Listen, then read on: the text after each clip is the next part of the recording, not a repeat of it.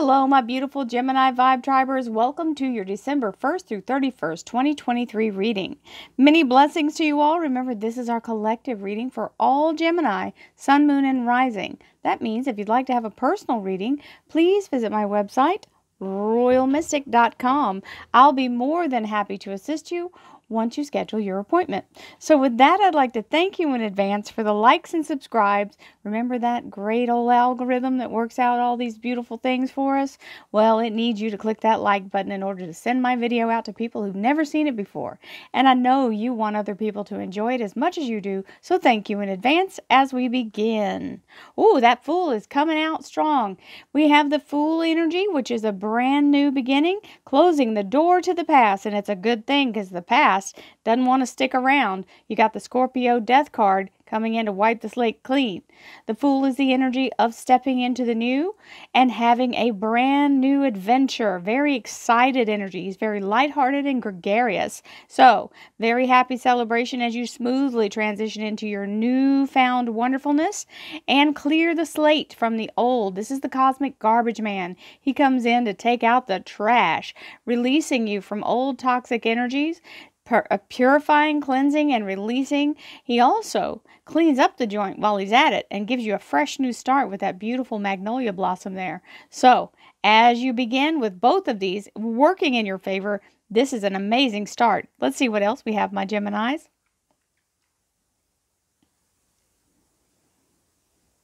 Thank you, angels, archangels, divine, pure white light, divine spirit,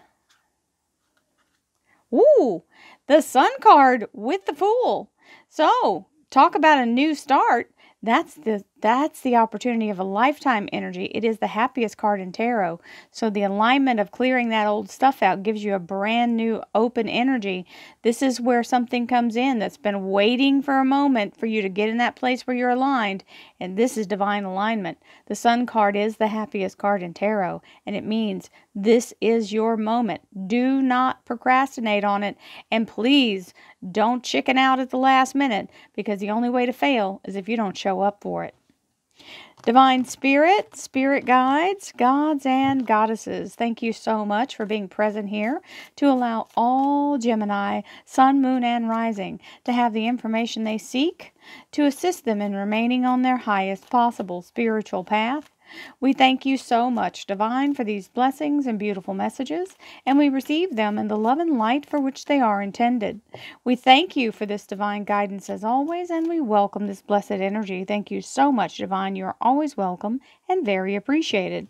So you saw this Five of Swords just volunteer at the very last minute, and this may be how you're feeling right now. You're thinking, what are you talking about, victory? I'm, I'm in the middle of a battle of my life here. Well, guess what? If you look real close at this card, the battle's over. And you've won. You're the one left standing, holding all the other people's swords. So, in this energy, it means you've won and you don't know it yet. It hasn't been pro- proclaimed, okay? It's not official.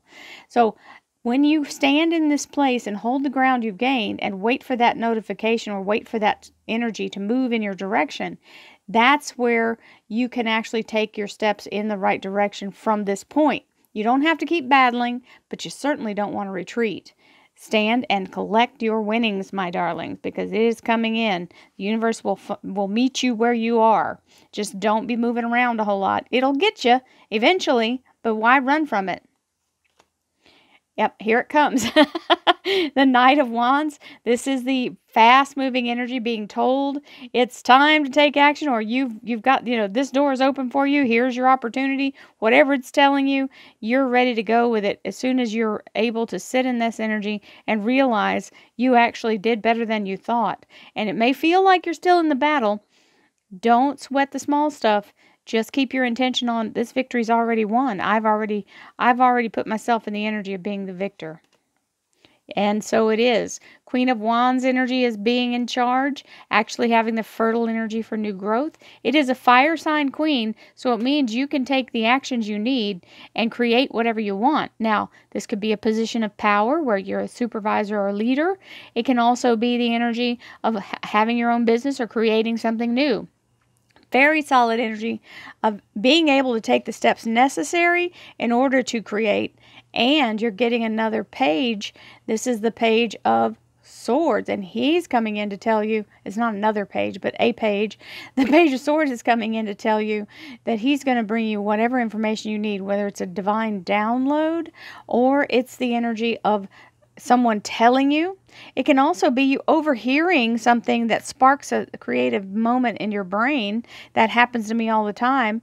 Uh, you can hear somebody else talking about something that doesn't really, it's not exactly the same situation, but their method may be what you need. The universe comes with all kinds of information in many different ways, so be open and receptive.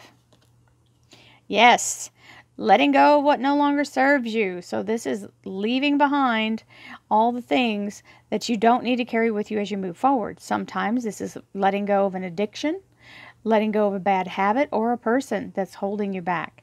It can also be giving two weeks' notice, but this is in your household energy. This can mean packing and moving as well. This is household, relationship, love life, and spiritual life. And it's saying keep your focus on the keep your eye on the prize because you're in the momentum, the flow is here, and you've got the power to be able to move forward without any issue. So don't let yourself get dragged down in the in the energy of looking away because you're already in the energy of victory. And that big clump you just heard, if you heard that on the mic, that's my cat Obi because I have the door shut. He's actually beating up the door.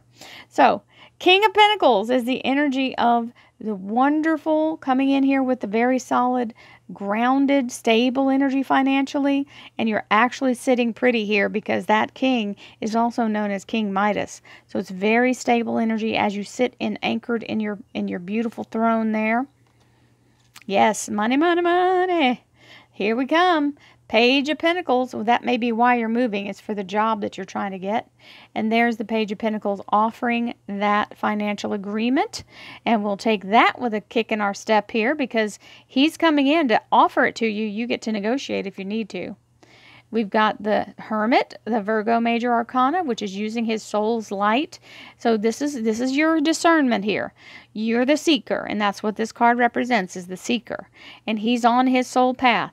But he's using his intuition and internal guidance to allow him to see the pitfall so that he doesn't step off the edge there. So be discerning. Don't just fall in hook, line, and sinker.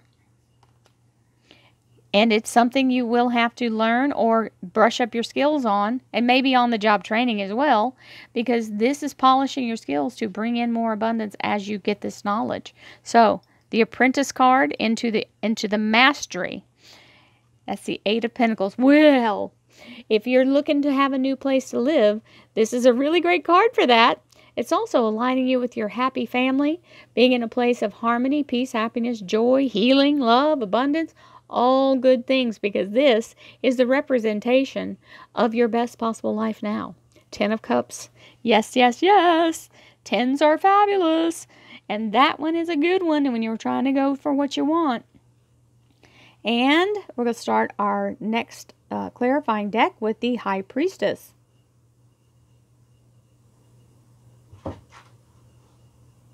The High Priestess is the energy of allowing yourself to be guided without resisting, without without pushing back on the universe. Sometimes we have to surrender our what our thoughts are uh, as far as how we thought something would come to pass and let the universe show us the way. Remember, you've got this card here telling you to do that. So let your higher self guide you. It will never steer you wrong.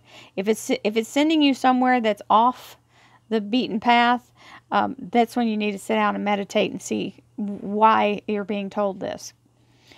Thank you, angels, archangels, divine, pure white light, divine spirit, spirit guides, gods and goddesses. Thank you so much for being present here to allow all Gemini, Sun, Moon, and Rising to have the information they seek to assist them in remaining on their highest possible spiritual path.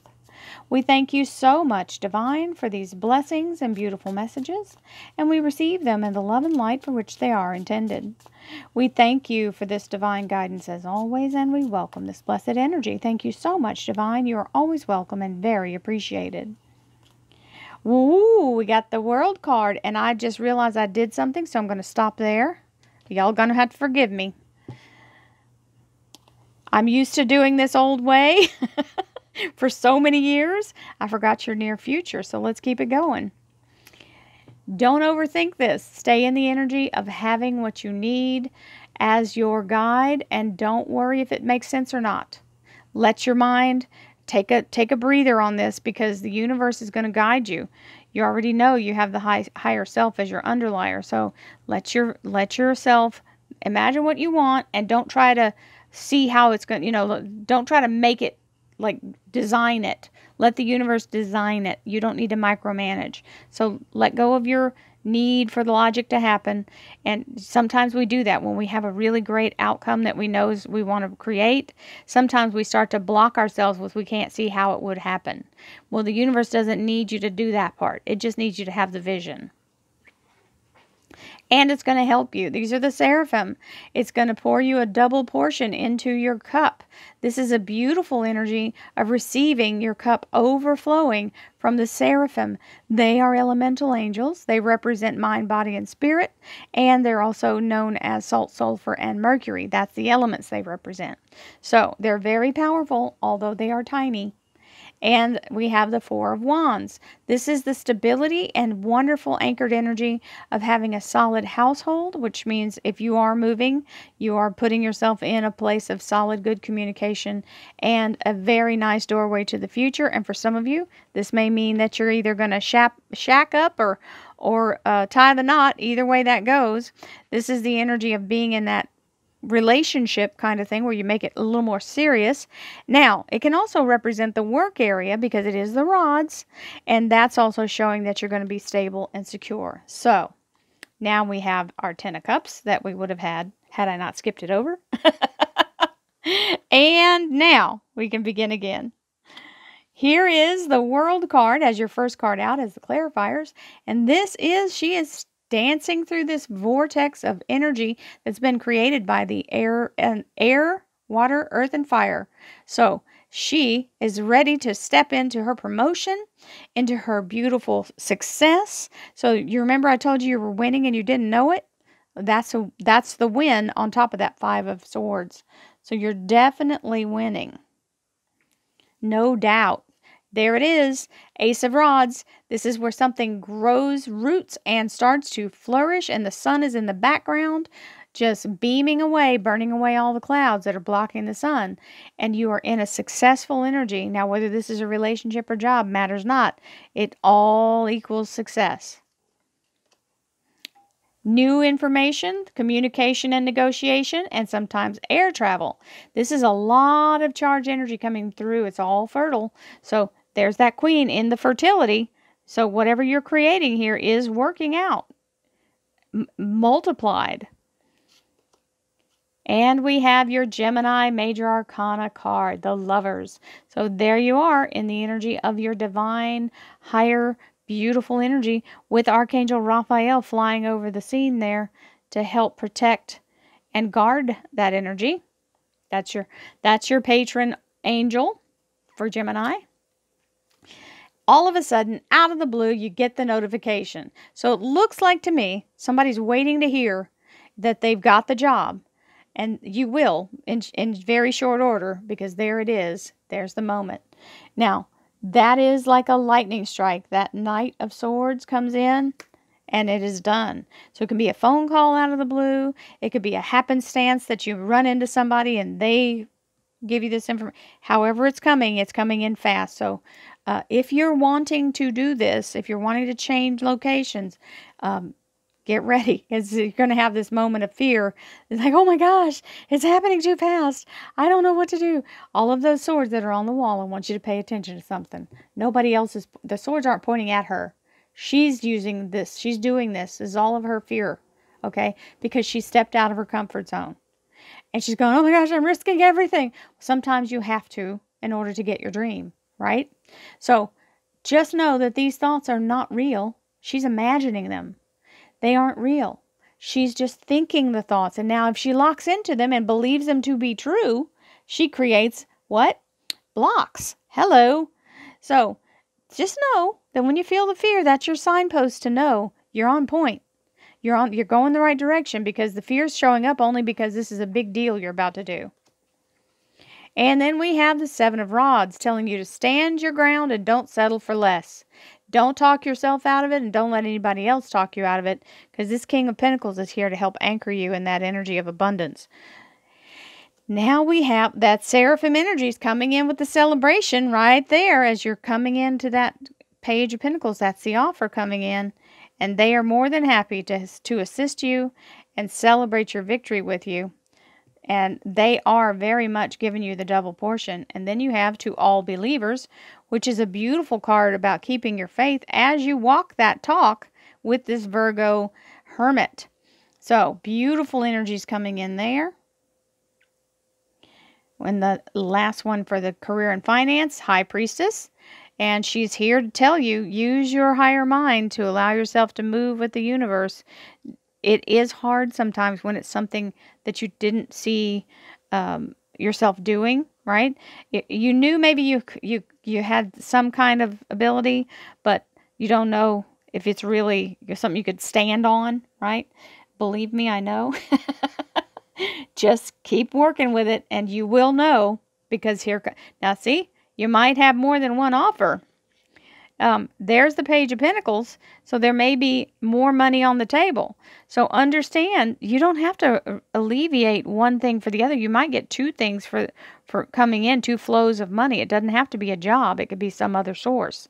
Remember, your job is not your source. The universe is your source. Hello, Two of Cups. We will take that with a fine how do you do because this is divine alignment with your higher self, with your soul energy coming in to help put you bridge the gap and help you walk your path. And it can be a person in your life, whether it's a divine partnership as in relationship or divine partnership as in job. It is a fabulous energy. Two of Cups. Thank you so much and the Page of Cups telling you everything is coming in in abundance. This wave is like the Japanese famous uh, painter, or I don't know if it's a painting or if it's a, a ink done, but it is a beautiful the the big wave that comes. It's it's the, representing the abundance of the universe in its constant state of motion, and the wave is continuous. That may pull back, but it will always come back in. And that's saying you are being given everything you need in order for you to succeed. You will be fed. You've got the page holding that fish in a cup, extending it to you. You will be provided for. And last but certainly not least, we have temperance. Temperance is the energy of Archangel Uriel. Uriel is a beautiful energy of synchronicity, and she's doing alchemy to align all the things as you step forward into your best possible life. So, and it wouldn't be your best possible life, guys, if you didn't have a little fear to go with it, because it's going to be scary when you're when you're going when you're dreaming for something big and it starts to to materialize. Yeah you get the heebie-jeebies a little bit but you can push past it. You have the strength to do so. It's telling you to do that. It's also saying it up here don't give up. It's coming. So you've got all these beautiful confirmations coming in with all these pages telling you. It's it's on its way. It's on its way. So i don't know if you're getting money to help you move with or if you've got two separate things that are going to cash you out as you go forward. So many blessings to you. I love you guys, and I'll see you soon. Namaste, my friends.